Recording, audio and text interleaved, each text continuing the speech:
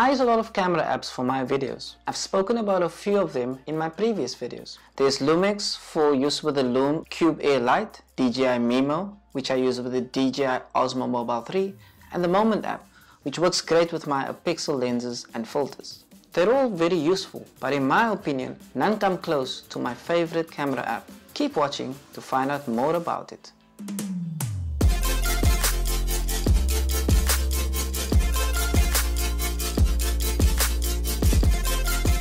Hi there, I'm Francois. I like exploring ways that I can make my technology work for me. If you would like to get the best out of your technology, why not subscribe to my channel for more tips and tricks on how to do this.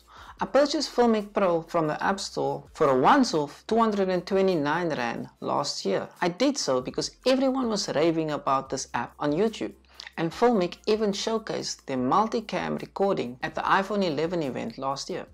I started reading the Filmic Pro user manual when preparing for this video. I'm now halfway through and I'm shocked at all of the features that I never knew anything about. This video would be extremely long if I spoke about all of the things I learned about, so I'm only going to focus on three things. The power of Filmic Pro lies in manual controls.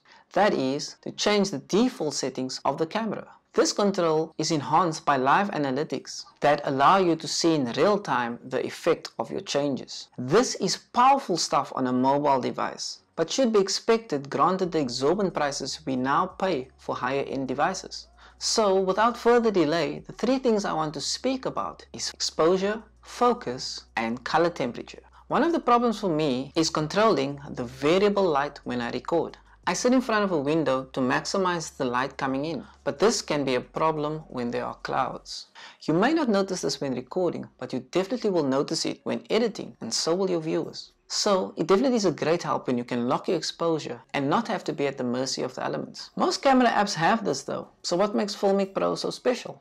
Well, you can use the very easy option when you're unfamiliar with the app or if you want a quick fix which works absolutely fine or you can really dial into the exposure settings. I've never owned a DSLR camera but I'm told that this is the kind of control you can get on one of these. You move a white circle around to where you want the highest exposure to be. I usually move it to the brightest part of my shot. Then you tap the circle, which then turns red, indicating that it is locked on that exposure. To get more control, you long press on the circle and you then can adjust the exposure by moving the left arc up or down. For even more customizability, you can press on either the ISO or shutter speed to lock either, then adjust the other unlocked setting.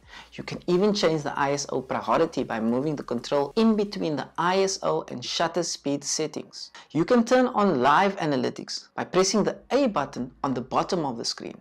These use different methods like zebra stripes or focus peaking so that you can visually gauge the changes you make to your exposure or focus. Tap anywhere on the screen to remove the dial and your settings are now applied to the lock exposure. Similarly, you can move the focus or square reticle around to where you want the focus of the shot to be. Tapping this once locks it as well and you can long press 2 for the right arc to appear. Then you can move this arc up or down to adjust your focus. Alternatively, on that same arc you can switch to zoom mode. Using this you can set how far you want to zoom in or out. You can set the pull to point slider control by adjusting the upper and lower pull point values. When set, you can tap either of these pull point values and the app will move between them in one smooth motion. Perfect for those shots where you want to shift focus or perhaps zoom in and out automatically and smoothly. This can also be done with the exposure controls and you can even adjust the speed of the pull event by grabbing the control block for either the focus slash zoom or exposure and pulling it towards the center of the screen. The higher the setting, the faster the pull speed. These arcs can also be made to appear or disappear by pressing the manual controls button next to the A button. To the left of the live analytics and manual control buttons, you have the imaging panel. This houses the control of the temperature of the shot. It also contains the controls for the tone and color behavior, though these have to be purchased separately through an in-app purchase called the Cinematographer Kit. You might wonder, like I did, why do you have to bother to set the white balance if you already have the exposure locked? A quick Google search revealed to me the difference between exposure and white balance. Reading directly from that search, white balance determines the neutrality, which is the balance of RGB values, whereas exposure determines the level of darkness and lightness of that white card. I will leave a link in the description below to that answer found in the photo.net forums if you are interested in reading more about what people have to say on that topic.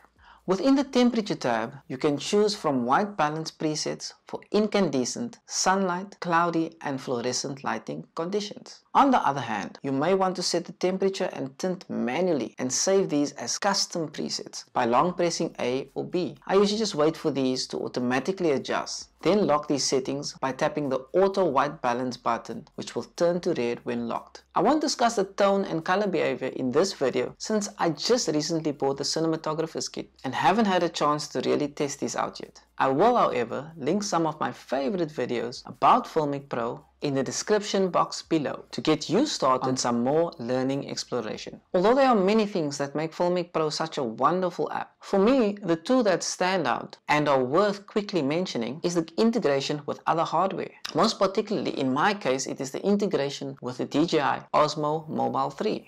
The other thing is how much you can customize your experience in the settings. You can really dial down on what you want by adjusting things like the resolution, the frame rate and audio and then saving your preferences to presets. This really gives you so much more control in a very user-friendly way that is easily accessible to both the beginner and the professional.